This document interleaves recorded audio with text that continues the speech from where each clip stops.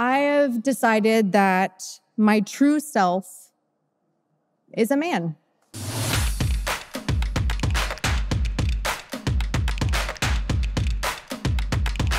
I actually have a very serious um, announcement to make, and you guys are all hearing it here first.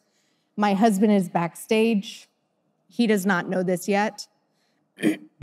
but um, I have decided that my true self is a man. Yep. It's how I identify myself.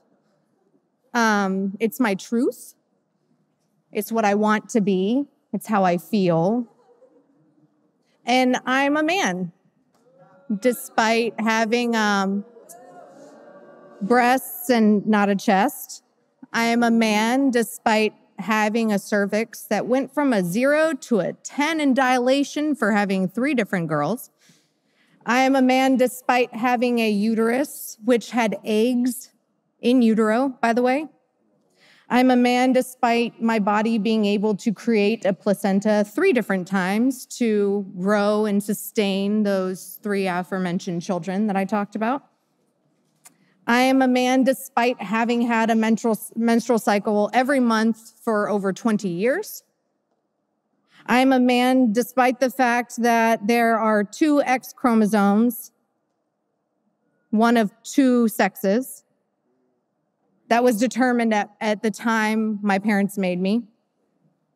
I'm a man despite the fact that my bone mass is incredibly and biologically different. I am a man despite the fact that my muscle mass is different. I am a man despite the fact that my fat cells and connective tissue are actually virtually arranged instead of crisscross. I am a man despite the fact that I genetically have thinner skin. That's not a reference to being attacked and my emotions, by the way. I'm pretty thick skinned there. I'm a man despite the thousands of genes within my biological DNA that act different from men's genes.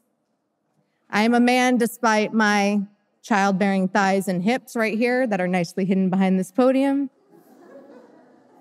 I am a man despite the elastin in my body changing and shifting every time I have grown a human being so much so that my ribs went from a 32 to a 34.